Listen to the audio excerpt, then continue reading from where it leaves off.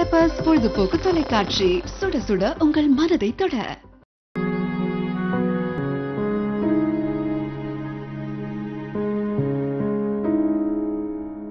வணக்கம்.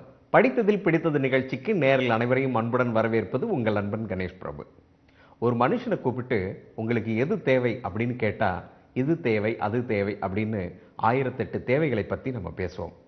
சுவாமி விவேகானந்தர் என்ன சொல்றாருன்னா ஒரு மனிதனுக்கு மூன்றே மூன்று தேவைகள் தான் இருக்கிறது அப்படின்னு சொல்கிறாரு என்னென்ன அப்படின்னா நல்ல இதயம் சிந்திக்கக்கூடிய மூளை சதா நேரமும் உழைக்க வேண்டிய கைகள். இந்த மூன்று மட்டும்தான் ஒரு மனிதனுக்கு தேவை என்று சொல்கிறார். சரி இன்றைய படித்ததில் பிடித்தது நிகழ்ச்சியில் நாம் சந்திக்க இருக்கக்கூடிய முக்கியமான பிரபலம் யாருன்னு பார்த்தீங்கன்னா கவிஞரும் எழுத்தாளருமான கவிமாமணி முனைவர் டாக்டர் வேலூர் மா நாராயணன் அவர்கள்.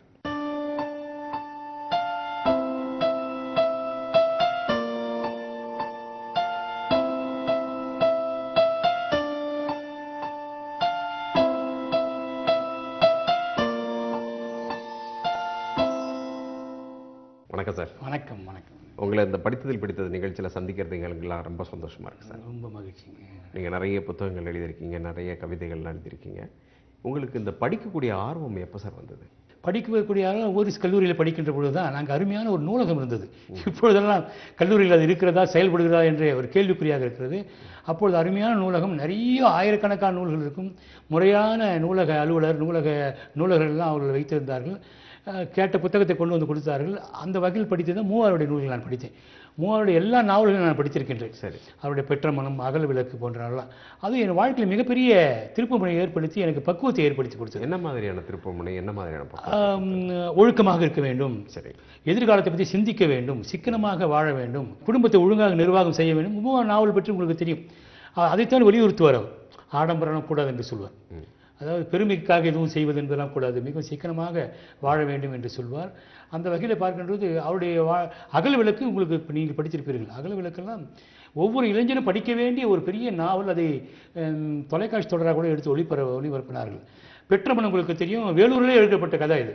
வேலூரை மையமாக வைத்து எழுதப்பட்ட கதை அதெல்லாம் எனக்கு மிகப்பெரிய ஊக்க மருந்தாக இருந்தது. அதில் படிக்கின்ற பொழுது. இன்னைக்கு நம்மளுடைய படித்ததில் பிடித்தது நிகழ்ச்சியில் நீங்கள் என்ன மாதிரியான புத்தகங்களை வந்து பகிர்ந்து கொள்ள இருக்கீங்க நான் ஒரு ஐந்து நூல்களை நான் இன்றைக்கு அறிமுகப்படுத்தலாம் என்று கருதுகின்றேன். ரெண்டு கவிதை ரெண்டு கட்டுரைகள் ஒரு நாவல் என்ற நிலையிலே.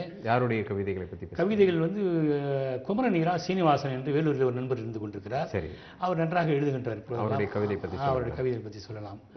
அடுத்து சுரதா அவர்கள். சொல்லுங்க. என்னுடைய குல அதாவது என்னுடைய குருநாதர் சுரதா அவருடைய கவிதைகளை பற்றி சொல்லலாம். நாவல் வேலூர் ராதாகிருஷ்ணன் ஒரு பெரிய சிறந்த எழுத்தாளர். அவருடைய ஆத்ம ராகம் என்ற நாவலை அறிமுகப்படுத்தலாம் என்று இருக்கின்றேன். என்னுடைய பேராசிரியர் சென்னை பச்சை பள்ளியில் படிக்கின்ற பொழுது எனக்கு பேராசிரியராக இருந்தார். உங்களுக்கு தெரியும் மனோன்மணியம் சுந்தரனார் பல்கலைக்கழகத்தின் முன்னாள் துணைவேந்தர் முனைவர் பேராசிரியர் காப்பா அரவாணன்.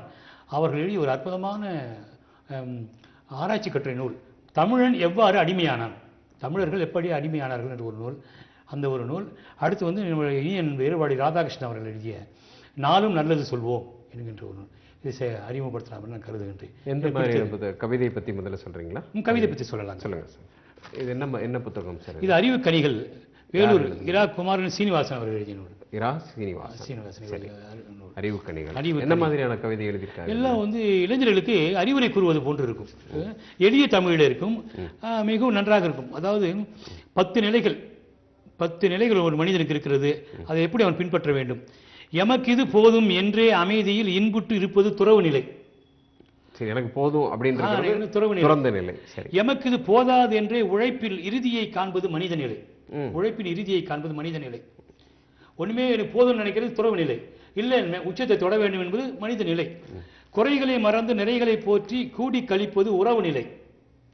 ஒரு உறவு வேணும்னா குற்றம் பார்க்கல சுற்றம் இல்லை. ஒரு உறவு வேண்டும் என்று சொன்னால் நாம் வந்து குற்றம் குறைகளை மறந்து விட வேண்டும். குறைகளை மறந்து நிறைகளை போற்றி கூடி கழிப்பது உறவு நிலை. சிறுகுறை தம்மையும் பெரிதுபடுத்தியே செரு வகை வளர்ப்பது அசுர நிலை. சின்ன விஷயத்தோட பூத கண்ணாடி வச்சு பெருசாகிக்கிறதுனா அது அசுர நிலை. கடமையை செய்கையில் கைகள் நீட்டா கண்ணிய வாழ்வே தேவநிலை. உன் கடமை நீ செய்கிற அதுக்கு எதுக்கு கைவிட்டு வாங்க வேண்டும்? அப்படி கைவிட்டு வாங்காமல் இருந்தால் அது தேவநிலை. கடமையை செய்கையில் கைகளை நீட்டும் கயமையின் உச்சம் அரக்க நிலை. அது அரக்கர்கள் செய்த வேலை. மாற்றார் உயர்களில் மனமது பொறாமல் முனகி திரிவது பேயின் நிலை. மற்ற உயர்ச்சியை பார்த்த உடனே இன்னும் ஒரு உணர்ந்துட்டானே நேற்று நல்லா இப்படி தான் இருந்தால் இன்னைக்கு இப்படி போயிட்டானே அப்படின்னு நினைக்கிறது பேய் நிலை. மாற்றார் தூற்றினும் மனம் மெய் வாக்கால் வாழ்த்த துடிப்பது தாயின் நிலை. மாற்றார் தூற்றினும் மனம் மெய் வாக்கால் வாழ்த்த துடிப்பது தாயின் நிலை. மனைவி இருப்பினும் மற்றவர் துணைகளை மனத்தால் தழுவுதல் விலங்கு நிலை. ஒருவனுக்கு ஒருத்தர் வாழணும் அப்படின்னா அது விலங்கு நிலையாக போயிடும். மனைவியை தவிர்த்து மற்றவர் எல்லாம் மாதர் என்பதோ தெய்வ நிலை. மாதா என்பதோ மனைவியை தவிர்த்து மற்றவர் எல்லாம் தன்னுடைய அன்னை என்று நினைப்பார்கள் நினைக்கிறாங்க இல்லையா? அதுதான் தெய்வ நிலை. இப்படி பத்து நிலைகள் இருக்குது தம்பி. இதை படித்து பார்த்து தெரிந்து கொள்ளுங்கள் என்று எழுதுகின்றார். எனக்கு ரொம்ப பிடிச்ச ஒரு இது. இந்த இளைஞருக்கு தேவையான ஒன்று இன்னொன்று பாருங்க. பல மனைவி கூட தெய்வ நிலை தான் தாய் மாதிரி தான் இருக்காங்க. தாய்மார் எல்லா இருக்காங்க. அதே போல பார்த்தீங்கன்னா வளர்த்துக்கொள் ஒன்று எழுதியிருக்காரு. அரைகுறையாகவே படித்து விட்டு தம்பி ஆயிரம் ஆட்டங்கள் ஆடாதே. நீ உலகத்துல பார்க்குறோம். அரைகுறையாகவே படித்துவிட்டு தம்பி ஆயிரம் ஆட்டங்கள் ஆடாதே. முறைப்படி வாழ்பவர் அனுபவங்கள் மெய் வேதங்கள் அவற்றை துறவாதே. கட்சிகள் எதிலும் சேராதே கை காசினை அள்ளி தெளிக்காதே. கட்சிகள் குழப்ப குட்டையடா அதில் குளிப்பது என்பதே மடமையடா. வெற்றி பெற்றவர் வரலாற்றை நாலு விரைந்தே ஊன்றி கற்றிடடா.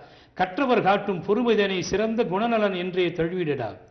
உடலில் சுத்தம் குளிப்பதனால் உந்தன் உள்ளத்தின் சுத்தம் படிப்பதனால். ஆஹா.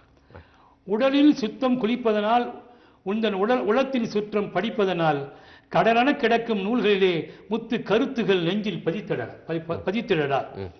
வாழ்க்கையை செம்மை ஆக்கிக்கொள் உழைத்து வருவாய் தம் தனையே பெருக்கிக்கொள் சூழ்நிலை கைதி ஆகாமல் மனதில் சுதந்திர உணர்வை வளர்த்துக்கொள் என்று முடிக்கிறது. ஒரு கவிதை மிகவும் நன்றாக இருக்கிறது. பாரு நாட்டு நடப்பு சொல்றாங்க. இன்னைக்கு தமிழ் மோகம் தமிழுடைய ஆர்வம் பறஞ்சு போய் ஆங்கில மோகம் வந்துடுச்சு அது ஒரு நகைச்சுவை காட்சி சொல்லுங்க. கண்ணனையே நண்பன். என்னை கனிவுடனே அணுகியவன் அன்பரே நான் அவசிய அவசரமாய் ஆங்கிலம் கற்க வேண்டும் என்றான். ஏன் இந்த அவசரம்தான் ஏன் விடுவாய் என்றதற்கு பண் இழைக்கும் தமிழ் படத்தில் பாட்டு எழுத உள்ளேன் என்றான். தமிழ் படத்தில் பாட்டு எழுதணும்னா ஆங்கிலம் தெரிஞ்சுக்கணும்னு சொல்லியிருக்காங்க போல் இருக்கு. அதனால் நான் ஆங்கிலம் கற்றுக்கணும் இப்போ வேறு வழியில். இப்போ சில பாடல் ஆங்கிலத்தில் வருது இல்லைங்களா? அதை தான் அது வந்து நெய்யாடி செய்கிற வகையில் இருக்கிறது. அது சொல்லிட்டு அவர் கருத்தை அவர் சொல்றாரு. பழகு தமிழ் படங்களிலே பாட்டு எழுத வேண்டுமெனில் அழகு உமிழும் ஆங்கிலம்தான் அடிப்படை தகுதி என்றால் தழைத்திடுமா தமிழ் மொழிதான்? தமிழ் இனம்தான் தேறிடுமா? அமிழ்தனைய இளைஞர்களே அணுவேனும் சிந்திப்பீர் அப்படின்னு முடிக்கிறார். ம் தமிழ் பட தலைப்புக்கே வந்து தமிழ் தலைப்பு வச்சா தான் வரி செலவு தராங்கன்னு. அது மாதிரி இப்போ பாட்டுக்கும் அப்படி வரும் போல் இருக்கு எதிர்காலத்தில். இதெல்லாம் வந்து அது மாதிரி ஆங்கிலத்தில் சேர்க்கக்கூடாது என்று சொல்லுகின்ற பொழுது அப்படி இருந்து கொண்டிருக்கிறது. நல்ல அருமையான ஒரு புத்தகம் சார். அறிவு கனிகள் சொல்லிட்டு இளைஞர்களுக்கான நிறைய ஊக்கம் அதாவது உடல் சுத்தமாகணும் அப்படின்னா குளித்தல் முக்கியமோ அதே போல மனம் சுத்தமாக வேண்டுமானால் படித்தல் முக்கியம். சொல்லிட்டு கவிஞர் குமரன் ரா. சீனிவாசன் அவர்கள் அற்புதமா சொல்லியிருக்காங்க. அற்புதமா இருந்தது சார் அந்த கவிதைகள் எல்லாமே. இதே போல இன்னொரு புத்தகத்தை பத்தி பகிர்ந்து கொள்ளுங்களேன். ஆத்மராகம்னு ஒரு நாவல் அன்பில் நான் படித்தேன். ரொம்ப நல்ல சிறந்த ஒரு நாவலாக அது. யார் எழுதுனது சார்? அது வேலூர் ராதாகிருஷ்ணன். ம். ஒரு சிறந்த ஒரு எழுத்தாளர். சரி. வேலூரில் இருந்து கொண்டிருக்கிறார். என்ன மாதிரியான நாவல் சார் இது? இது வந்து ஒரு இசை ஆசிரியருடைய வாழ்க்கையில் நடந்த ஒரு போராட்டம். அது மிக அற்புதமாக என்ன மாதிரியான போராட்டத்தை அதாவது அந்த இந்த கதையில் வருகின்ற இசை ஆசிரியர் பத்மநாப சாஸ்திரிக்கு அறுபது வயது ஆகிறது. ஒரு கிராமத்தில் இருந்து கொண்டு பெருந்தன்மையானவராக ஒரு எல்லாருக்கும் பஞ்சாயத்து செய்பவராக இருந்து கொண்டிருக்கின்றார். ஒரு ஒரு குடும்பம். ஆனால் உங்களுக்கு தெரியும் கிராமத்திலே போய் இசை ஆசிரியருக்கு என்ன வருமானம் வந்துவிட போகிறது? என்றால் பரம்பரையாக அவர்கள் செய்து கொண்டிருப்பது அதை செய்து கொண்டிருக்கிறார். மலேசியாவிலிருந்து தமிழ் குடும்பம் இருக்கிறது அந்த தமிழ் குடும்பத்திற்கு குடும்ப தலைவனில் தலைவி இருக்கிறார்கள். அந்த தலைவனுடைய மகள் சந்திரமதி என்று அந்த அந்த பெண் வந்து இசையை கற்றுக்கொள்ள விரும்புகின்ற பொழுது இந்த ஆசிரியரை அறிமுகப்படுத்துகிறார்கள். இந்த ஆசிரியர் தன் மகளுக்குரிய பாசத்தோடு தான் அந்த சந்திரமதியோடு பழகி கொண்டிருக்கிறார். ஆனால் கிராமத்திலே சில பலகீனங்கள் இருக்கும் அல்லவா? அதுபோல் அவருக்கு அந்த ஆசிரியருக்கும் அந்த சந்திரமதிக்கும் காதல் என்பது போல ஒரு வதந்தியை கிளப்பி விடுகிறார்கள். அது பெரிய சிக்கலை அந்த குடும்ப இரு குடும்பங்களிலே உருவாக்கி மிகப்பெரிய போராட்டத்தை உருவாக்கி விடுகிறது. பல அவமானங்களை அவர் சந்திக்கின்றார் பத்மநாப சாஸ்திரிகள். அதையெல்லாம் மிக அற்புதமான ஒரு படப்பிடிப்பாக காட்டுகிறார். உள்ளபடி இது ஒரு திரைப்படம் எடுக்கக்கூடிய அளவுக்கு மிக சிறந்த திருப்பு முனைகளை கொண்ட ஒரு கதையாக இருந்து கொண்டிருக்கு. முன்னூற்றி இருபத்தி ஏழு பக்கங்களில் அதை எழுதியிருக்கின்றார். இதில் ஒரு பெரிய வியப்புக்குரிய செய்தி என்னவென்று சொன்னால் இதில் ஆசிரியர் ராதாகிருஷ்ணன் அவர்கள் ஒரு தொழிலதிபர் முன்னர் எழுத்தாளர் அல்ல. தொழிலதிபர் நாடகத்தில் ஈடுபாடு உடையவர் உணவக அதிபர் ஹோட்டல் அதிபராக இருந்து கொண்டிருக்கின்றார்கள். மலையாளம் தாய்மொழி அவருக்கு. இருந்தாலும் தமிழிலே எழுத வேண்டும் தமிழ் கற்றுக்கொண்டு மிக சிறந்த முறையில் எழுதி கொண்டிருக்கிறார். இதுவரை பத்து நூல்கள் எழுதியிருக்கின்றார். எல்லாமே சிறந்த நூல்கள். அதில் இது அண்மையில் வந்த நூல் ஆத்மராகம். மிக சிறந்த நூலாக அது இருந்து கொண்டிருக்கிறது. நாட்டு நடப்பு அந்த பார்வைகள். ஒவ்வொரு சமுதாயத்திலே ஒரு திருமண திருமண அதில் ஒரு கல்யாண தரகர் வருகிறார். கல்யாண தரகர் எப்படியெல்லாம் பெண்ணினை பற்றியும் பையனை பற்றியும் இவன் எப்படி சொல்ல வேண்டும் எப்படி சொல்லிக் கொண்டிருக்கிறார்கள் இப்பொழுது அதையெல்லாம் மிக அற்புதமாக சொல்லி மிகவும் நகைச்சுவை உணர்வோடும் மிக நல்ல முறையில் சொல்கிறார். அதான் எழுதியிருக்கின்றேன். கதை மாந்தர்களான பத்மாப சாஸ்திரிகள் அவருடைய மனைவி சாவித்திரி மகள்கள் காயத்ரி சரோஜா மகன் சீனு சாஸ்திரியின் நிகழாக உழவும் ராமு ஆகியோரின் பாத்திர படைப்பு நாவல் ஆசிரியரின் பழுத்து திறமைக்கு சான்றாக இருந்து கொண்டிருக்கிறது. மூன்று காரணம் சுந்தரேஷ் ஐயரை பயிலுவோர். ஒரு நாளும் அவரை மறக்க முடியாது. அந்த சுந்தரேஷ் ஐயர் என்ற அந்த கல்யாண திறகர் எதற்கெடுத்தாலும் மூன்று காரணங்களை சொல்வார்கள். மூன்று காரணம் மூன்று காரணம் என்று சொல்லி அதை விளக்குகின்ற பொழுது நமக்கு மிகவும் வேடிக்கையாக இருக்கும். அதே போல் அந்த காலையில் அந்த க நாவல் தொடங்குகின்ற பொழுதே அந்த இளங்காலை பொழுது எப்படி சொல்கிறார் பாருங்கள். இளம் காலை பொழுது கீழ்வானில் கதிரவன் தனது முகம் காட்டத் தொடங்கி மூன்று மணி நேரம் ஆகியிருக்கும். இயற்கை வளங்கள் பூத்து சிரிக்கும் வசந்தபுரம். மண் மாதா நமக்கு வழங்கியிருக்கும் அருங்கொடை இவ்வூர். நன்சை வயற்புறங்களை நோக்கி உழவர் பெருமக்கள் தங்கள் தோள்களில் கலப்பையுடன் அணியணியாக சென்று கொண்டிருக்கும் அழகே அழகு. கீழ் வானில் பறவைகள் மிகவும் உற்சாகத்துடன் பறந்து அன்றைய விடியலை வனப்புடன் வரவேற்றுக் கொண்டிருக்கின்றன.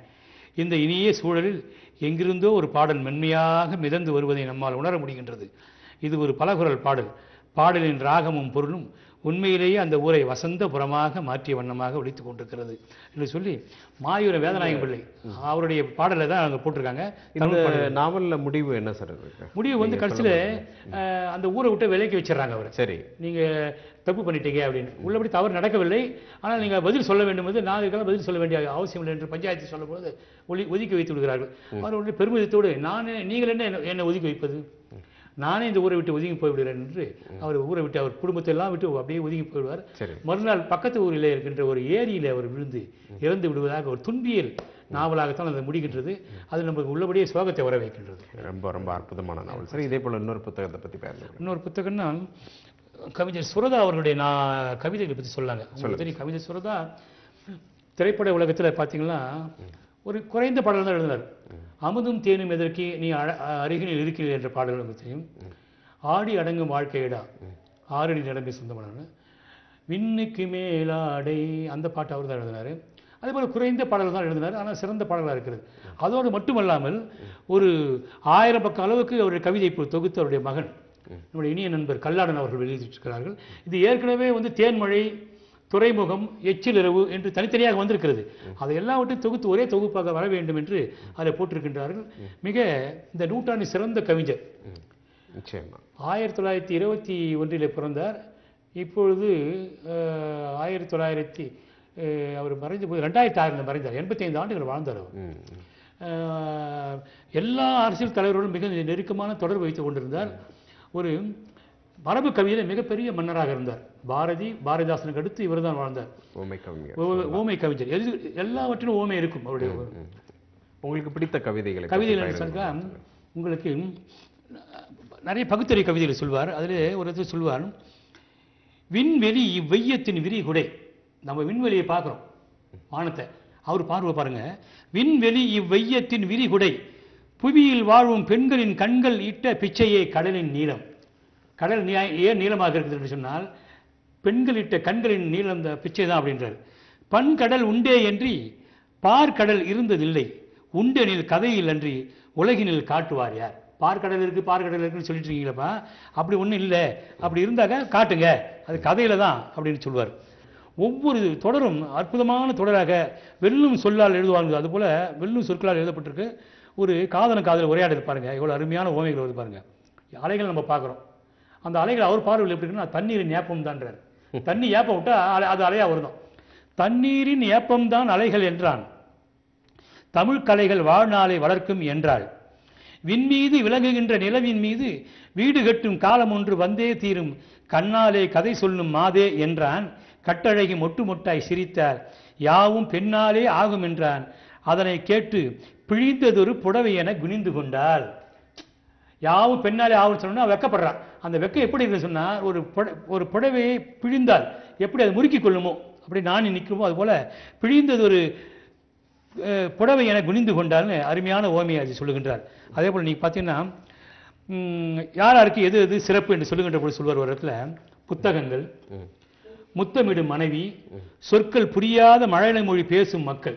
புத்தகங்கள் முத்தமிடும் மனைவி சொற்கள் புரியாத மழலை மொழி பேசும் மக்கள் இத்தரை பீஜனில் ஒவ்வொரு மனிதருக்கும் இருப்பதுவே சிறப்பாகும். இல்லை இருக்குமாயின் புத்தகத்தால் பேரறிவும் குழந்தை பேச்சால் பூரிப்பும் மனைவியினால் சுகமும் சேரும். எத்தனை பேர் இருந்தென்ன? மனைவி இல்லான் இல்வாழ்க்கை கரும்புக்கு வெறும் பூ என்றோ?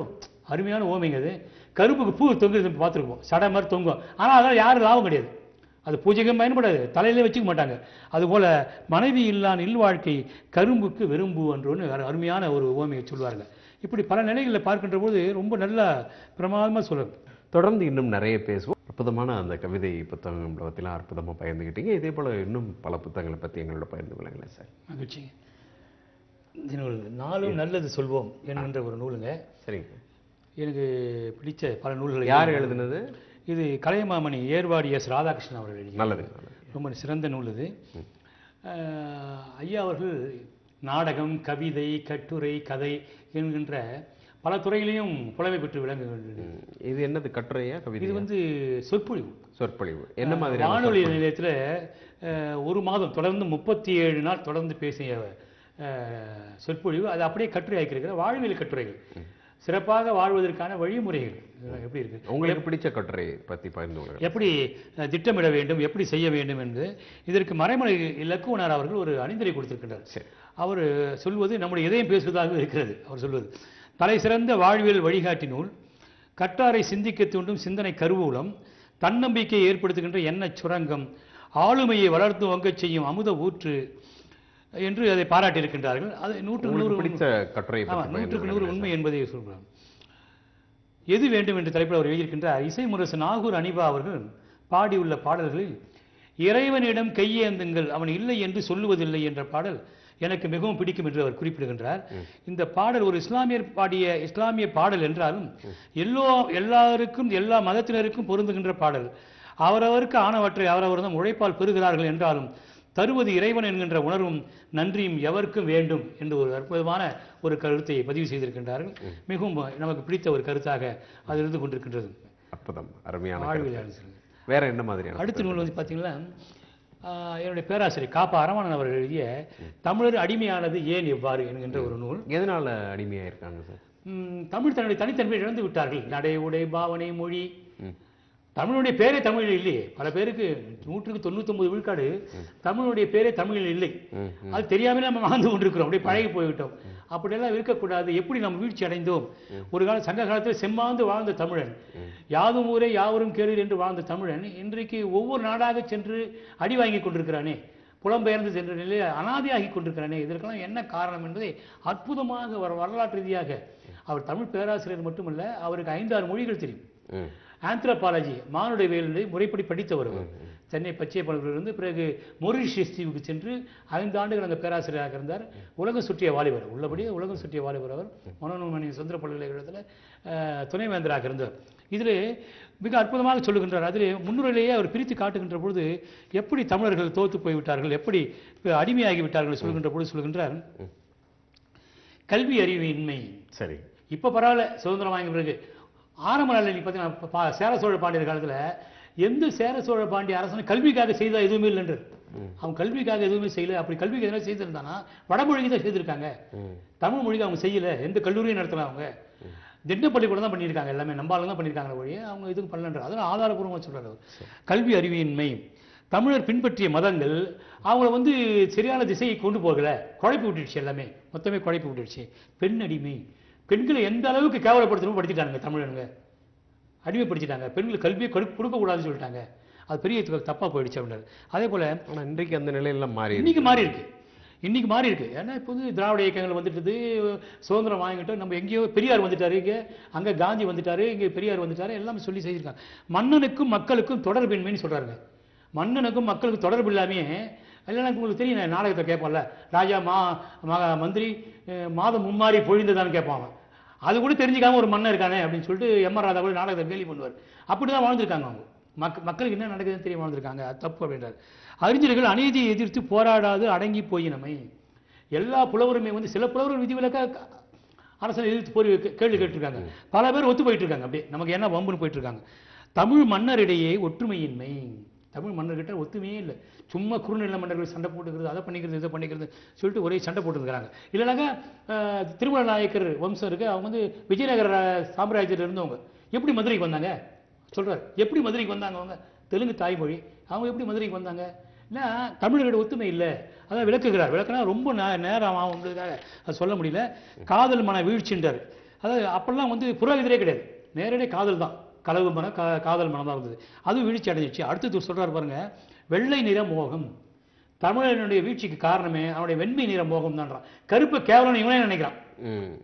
கருப்பு கேவலம் இவனே நினைக்கிறான். அதனால தான் அந்த நாள்ல இருந்து இந்த நாள் வரைக்கும் வடநாட்டிலிருந்து வர நாட்டிய பெண்கள் தான் விரும்புறது வடநாட்டிலிருந்து வர புலவர் பெருமக்கள் தான் விரும்புறது. அப்படிதான் வந்தது மது சோழ நாட்டுல இவன் வந்தாரு சரபோஜி மன்னர் அப்படிதான் வந்தார். மராட்டியத்துக்கு தமிழுக்கு சம்பந்தமே இல்லை. எப்படி மராட்டியம் உள்ள வந்தான்னா அந்த வெண்மை நிறத்தினால தான் உள்ள வந்துட்டான். இவங்க பலகீனமாயிட்டாங்க. சேர ராஜராஜ சோழன் காலத்துல நடந்து போச்சுட்டாங்க இன்றைக்கு திரைப்பட உலகத்துல அதான் நடக்குதுன்றது எழுதுறாரு. திரைப்பட உலகத்துல அதான் நடக்குது. வெண்ணிற மோதல் தான் விழுந்துறாங்க மொழியே தெரியாம இட்டு வந்துடுறாங்க. ஆயிரத்தி வந்துட்டு டப்பிங் கொடுத்து பேச வைக்கிறாங்க அப்படின்னு ரொம்ப ஆதாரமா அற்புதமான ரொம்ப அற்புதமா சொல்றாங்க இந்த ஒரு நூலை படிச்சாவே நம்ம எவ்வளவு பின்தங்கி இருக்கணும்னு தெரியும் தமிழ்நாடு. தமிழர்கள் எவ்வளவு பின்தங்கி இருக்காங்கன்னு தெரியும். நிச்சயமா. ஒவ்வொரு தமிழர்களிடையும் இருக்க வேண்டிய ஒரு அற்புதமான ஒரு பொக்கிஷம். கப அரவாணன் எழுதிய அரு- அருமையான புத்தகம். நீங்க கூட நிறைய புத்தகங்கள் வெளியிட்டிருக்கீங்க இல்லையா? ஆமாங்க. உங்களுடைய புத்தகத்துல இருந்து ஏதாவது ஒரு கருத்து பகிர்ந்து நான் ஏற்கனவே குறிப்பிட்டது போல பதினஞ்சு கவிதை நூல் எழுதியிருக்கேங்க. பதினஞ்சு சொற்பொழிவு இருபது கட்டுரை நூல் நூல் பார்க்கும்போது ஐம்பது நூல் வரும். இன்பமும் நாம்னு ஒரு நூல். மிக எனக்கு ரொம்ப பிடிச்சமான நூல். இதில் கனவு கண்டான் கனவு கண்டேன் தோழான்னு ஒரு க இது இருக்கும். கனா கண்டேன் தோழா. கனா கண்டேன் தோழின்னு நம்ம கேள்விப்பட்டிருக்கோம் இல்லையா? அது கனா கண்டேன் தோழா. அதில் ஒரு சில கருத்துக்கள் எப்படி பாருங்க. கலைத்துறை மகளிர் எல்லாம் காட்சிக்கே எளியராகி குலமகள் போன்றே ஒற்றை கணவரோடு இருக்க கண்டேன். கலைத்துறை ஆண்கள் தாமும் கட்டிய மனைவியோடு தலைமுறை தோறும் வாழ்ந்தே சரித்திரம் படைக்க கண்டேன். புலவரர் நால்வர் நால்வர் கூடி பைந்தமிழ் சங்கம் கண்டே வளவள வென்றே பேசி வாய்ப்பந்தல் இட்டதெல்லாம் மலைமிசை ஏறக் கண்டேன் முத்தமிழ் பிழைக்கக் கண்டேன் நலிவிழா தமிழே மக்கள் நாவில் நடம் புரிய கண்டேன். வடபுலம் வாழும் சான்றோர் விந்திய மலைகளுக்கு அப்பால் தென்புலம் ஒன்று உண்டென்றே சிந்தனை செய்ய கண்டேன். நன்றென பரிசும் பட்டம் நற்றமிழ் அறிஞருக்கு ஈந்தே. ஒன்று நம் இந்தியா என்னும் உணர்வினை வளர்க்க கண்டேன். நீங்கள் பார்த்தீங்கன்னா எல்லா பரிசும் வடநாட்டுக்கு தான் போயிடும். இப்போ பெரும்பாலும் அப்படி தமிழ்நாட்டுக்கு வர்றதில்லை. அந்த நிலைமையெல்லாம் மாற கண்டேன். அப்படின்றது முடி முடிக்கிற மாதிரி ஒன்று இருக்கும். அதே போல் தொலைக்காட்சி முன்பமர்ந்தால் தொலைந்திடும் வாழ்நாள் என்னும் நிலையினை நன்குணர்ந்து நங்கையர் கூட்டமெல்லாம் மலைமலையாக உள்ள முத்தமிழ் நூல்கள் தேடி அலையலையாக சென்றே ஆர்வமாய் படிக்க கண்டேன். பெண்கள் எல்லாம் வந்து நூல்கள் படிக்க ஆரம்பிச்சிட்டாங்க. தொலைக்காட்சி பார்க்கறத குறைச்சிட்டாங்க. இதெல்லாம் கனவு தான் அதே பாருங்க தெருத்தோறும் இரு குழாய் நிற்கும். ஒரு தெரு ரெண்டு குழாய் நிற்கும். திருகினால் போதும். ஒன்றில் பருகிட குடிநீர் சிந்தும் பாய்ந்திடும் வெந்நீர் ஒன்றில். ஒன்றில் குடிநீர் வரும் குளிர்ந்த நீர் ஒன்றுல பா வெந்நீர் வரும். அருகினில் வாழும் ஏழை அனுதினம் குளிப்பதற்கே பெருமையோ பெருமை இதை பார்வை செய்ய வியப்பின் உச்சி. இப்போ குடிக்கிற தண்ணியே வரல. ஆனால் கனவு கண்டேன் நான். அது மாதிரி வந்தால் நல்லா இருக்குமே அப்படின்னு சொல்லி கனவு கண்டேன். இப்படி பல நிலையில் பார்க்கின்ற போது கடைசியில் எப்படி முடிக்கிறேன்னா திசையெல்லாம் சுழன்றதாலே தொப்பன விழுந்தேன் மண்ணில். நான் தூக்கிட்டே கனவு கண்டேன். திசையெல்லாம் சுழன்றதாலே தொப்பன விழுந்தேன் மண்ணில். அசைத்தனர் யாரோ என்னை. அத்தான் என்றோர் கீதம். கசைக்கையே கண் திறந்தேன். கட்டிலின் கீழ் இருந்தேன். உசிப்பியே மனைவி கேட்டால் உறங்கையில் பயம் கொண்டீரா? என்று கேட்கின்றார். கேட்டார். என்று முடிக்கிறது அது. அதாவது அந்த மாதிரி பண்ணிட்டான்ற மாதிரி. எங்களுடைய நிகழ்ச்சியில நீங்க கலந்துகிட்டதுக்கு எங்களுக்கு எங்களுடைய பெப்பர்ஸ் டிவியின் சார்பாக மனமார்ந்த நன்றிகளும் வாழ்த்துக்களும். ரொம்ப மகிழ்ச்சிங்க.